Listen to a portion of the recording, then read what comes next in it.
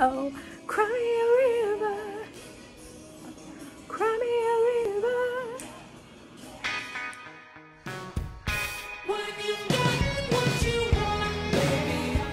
Happy Palm Sunday, everyone. I got a late start this morning because I was up really late last night because I have some unfortunate neighbors. I'm basically starting off the day with uh, brunch, except it's really lunch because it's late in the day. so guess what I'm having? That's right, more barbacoa. Today I thought I'd try to make nachos out of it because I had tacos yesterday, so try and keep it fresh. I'm starting with a mini brick of Velveeta for my nacho cheese. I can feel some of you judging me already. I know that this is terribly unhealthy, but it's the best kind of nacho cheese. You just got it sometimes. So I tried to put it in for 45 seconds and accidentally apparently hit 45 minutes. So it got a little bit crispity, crunchity on the top, but um, there's some salvageable stuff here. And no, I did not cook it for the whole 45 minutes. It was only about a minute and 15 seconds.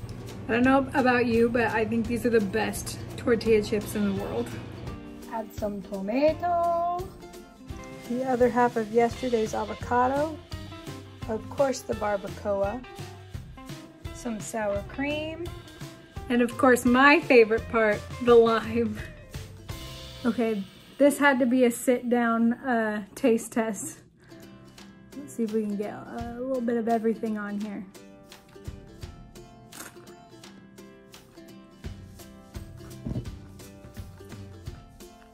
Mm.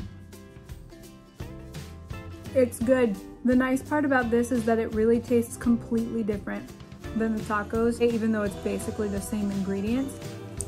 It like transforms them just being on a chip. So it doesn't feel like I'm eating the same thing over and over. I've gotten to the point where I basically have to use a fork for the rest of my nachos. It's such a disappointing feeling. My best friend and I went to um, Disneyland earlier this year. We've gone before together. There's this little uh, restaurant that has nachos and we used to, every time we went, we used to go down and get the chicken nachos. And this last time we got those chicken nachos. Those are the best nachos I've ever had. But I've never had barbacoa nachos before. I've never had nachos that weren't either just cheese or chicken. So this was a pretty good experiment, I would say. Um, I can understand why people eat this. Clearly it was terrible. That's it for today. I'm getting close to the date that my parents' quarantine is up. I'm gonna go down and, and quarantine with them so that I'm not just here by myself. I have a lot of packing and planning to do for that. But uh, I hope that you are finding ways to repurpose old things or try something new with what you have, whether it's food or something completely different in a creative, creative endeavor. Um, and I hope you smiled today and I will see you soon. Bye.